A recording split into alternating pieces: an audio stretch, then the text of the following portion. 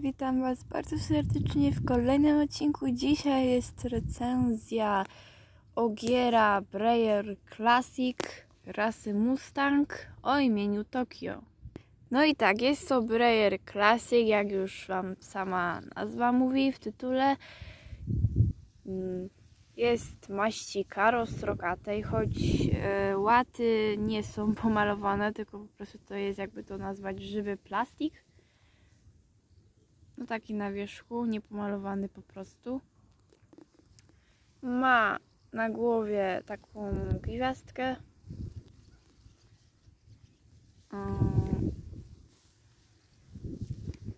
Ma takie jasno-brązowe kopytka. Nie ma wyrzeźbionych strzałek benzinowych. No i nie jest podkuty. Jest to ogier. Ma na imię Tokio. Fajnie ma zaznaczone oczy, bardzo mi się to podoba.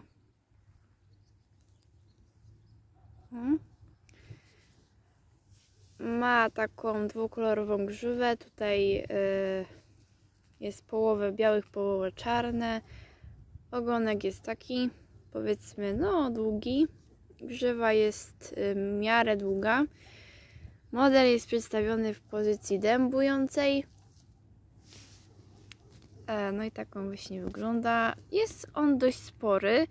Nie jest jakoś on taki, wiecie, bardziej większy od Breyera Traditional. Jest on powiedzmy w miarę. Tutaj jeszcze, e, żeby go tak porównać, to przyniosłam tutaj szlejcha na tą recenzję, gracz brytyjską. No i widać, że on jest większy w tej pozycji. Tutaj mogę go jeszcze tak dać. Porównamy sobie. O. Niestety mój model ma parę rysek. No ale mi to nie przeszkadza. Został kupiony na Monocerus. y, No i nie było też jego unboxingu, ponieważ jak wiecie byłam w szpitalu. No i nie wstawiłam. y, Bo nie miałam jak nagrać zbytnio. No ale też wstawiłam z nim podpis, tam mogliście go zobaczyć. No i jeśli chodzi, gdzie można go kupić, czy jest fotogeniczny, czy wejdą na niego jakieś akcesoria, to tak. Można go kupić na Monocerus, na innych stronach internetowych. W realu to nie wiem zbytnio, nie widziałam żadnych sklepów z brajerami. Więc e, tak. Jeśli chodzi, czy jest fotogeniczny, to jest fotogeniczny, bardzo ładnie wychodzi na zdjęciach. E, No i jeśli chodzi o akcesoria, no to bardziej byście musieli zrobić dla niego jakieś akcesoria, bo w sensie są jakieś akcesoria dla Bray klasików, ale one są takie chyba z tego co wiem gumowe i nie wiem czy jest, są jakieś akcesoria na jego, że jak to powiem, pozę, więc myślę, że bardziej jak zrobicie to będzie fajnie to wyglądać. E, No i co by tu jeszcze powiedzieć? No myślę, że by było to tyle. E, Model też jest naprawdę fajnie wyrzeźbiony. Fajne ma detale. Naprawdę jest super.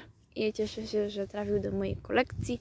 E, No i co by tu jeszcze powiedzieć? Jutro jeszcze się pojawi ostatnia recenzja. W sensie nie taka, że już nigdy nie będzie recenzji, tylko już taka ostatnia model, bo już nie mam jakiego modelu robić recenzję, no bo e, wszystkie już miały swoje recenzje. A więc jutro będzie recenzja Breyer Traditional Secretariat, ale to jutro.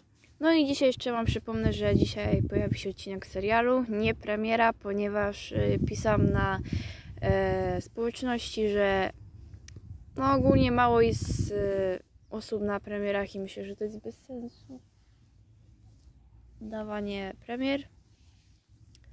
No i co by jeszcze powiedzieć? Chyba to tyle, więc widzimy się jutro w kolejnej recenzji, a ja się z Wami żegnam. Do zobaczenia w kolejnym odcinku. Cześć!